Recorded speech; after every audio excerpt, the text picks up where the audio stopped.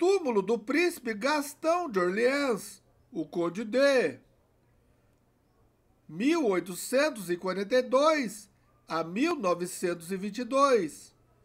Marido da princesa Dona Isabel e patriarca da dinastia dos Orleans e Bragança, na Catedral de São Pedro de Alcântara, Petrópolis.